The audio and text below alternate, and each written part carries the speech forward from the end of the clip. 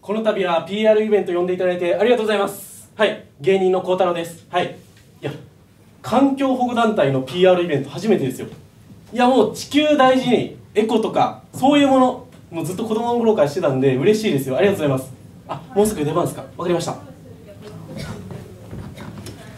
どうも環境保護団体の皆さんはじめまして芸人の孝太郎と申します。お願いします。ね。あすごい。環境保護団体の皆さん集まっていただいてありがとうございますね。えー、地球をね大事にしていかなきゃあかんなとね思いますけども。はい。皆さん自然保護あるあるというのを持ってきました。これでね、えー、学びながらね笑いもね取ってもらえてね楽しい時間になったらいいと思います。はい。まずはじめこちらですね。えー紙をリサイクルする心がね、行き過ぎてね、紙コップマスクとして使いがちっていうね、やりますよね、こちら。え、あとはね、こちら。もうね、資源を大事にするからね、ペーパーの方の紙棚があるっていうね。いやね、これもね、ちょっとね、わかりますよね。紙大事にしてますからね。え、あとはね、こちら。うん。紙を折って曲げるというね、紙飛行機をね、すごく嫌いがち。ね、こんなことあるんだっていうね、感じですよねあ。なんか受けないなああすいません。あの皆さん環境保護団体の皆さん。あすいません。あのごめんなさい。これは紙の無駄じゃないです。あすあすいません。あのいや僕もその地球を大事に地球を守ろうってことで伝えたくてあのすいません。あのごめんなさい。これは紙にその絵を描いてやるフリップっていうものがあってあごめんなさい。あのそう環境保護団体の前でフリップネタやるのこんな危ないんですか？ええその僕も伝えたくてこの芸風やってるんですよ。ええだからその紙とかを大事にしたら後にね森とかも大切にできるよっていうメッセージも込めてはい。いや伝わってます皆さん。あごめんなさい。風刺画じゃないです。いやそのなんか地球を大事にを地球を壊しながら発表してるわけじゃなくてそうそういうなんか深い意味とか持ってなくていやねいいよよよかれと思っていや紙だけじゃなくてそのリサイクルとか環境保護いろいろ問題になってるじゃないですか。ね。えー、もう食品ロスとかいろいろねあるじゃないですか。ね。水問題にも尽きないですよ。こういう問題を僕がねその伝えたいと思ってやってきてるんですよ。いやそのフリップが泣いてるわけないじゃないですか。そのいやそのフリップが泣いてる絵を描いてそのいじめてる構図にしてるわけないじゃないですか。そのいやそそんな意味ではないですよ。よかれと思ってやってるんで。ちゃちゃんと皆さん聞いてください。あの木材の用途こちらクイズ形式の持ってきてるんですよ。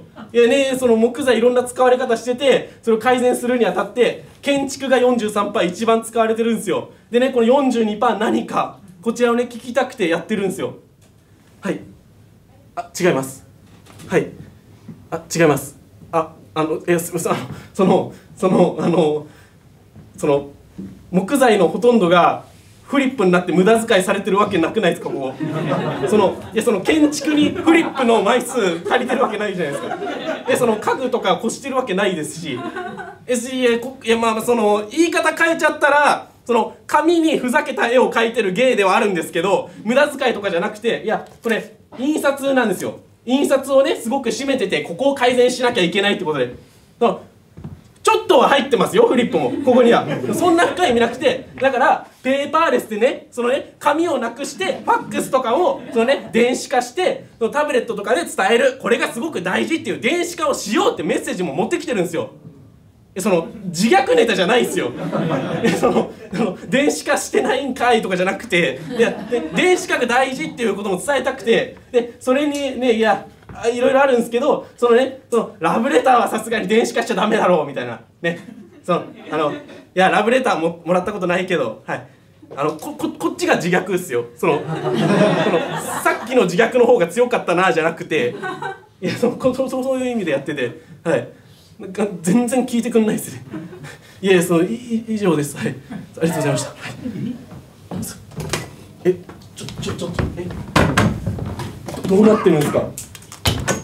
えこんなアウェーなんですか？一応やってらんないですよマジで。いやありえないです、はい、や一応やりきりましたけど。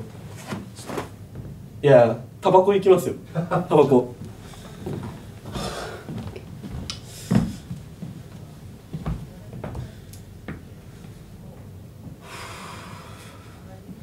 こんなストレスもなんだ